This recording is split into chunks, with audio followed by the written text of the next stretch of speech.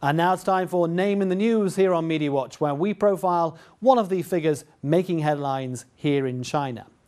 A businessman from East China said Sunday that he got a lot out of his Chinese version of Lunch with Warren Buffett, this time with the Chinese property mogul Ren Zhiqiang, which was held last Wednesday, GMW.cn reported. Chen Lei from Shandong province won the chance to have the talk with Ren by bidding 450,000 yuan, that's about 72,000 US dollars, a month ago.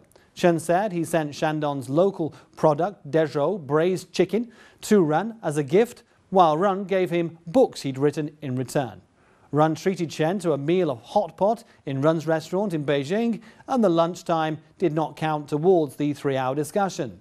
The talk started at 1.30 p.m. and ended at 4.30 after lunch.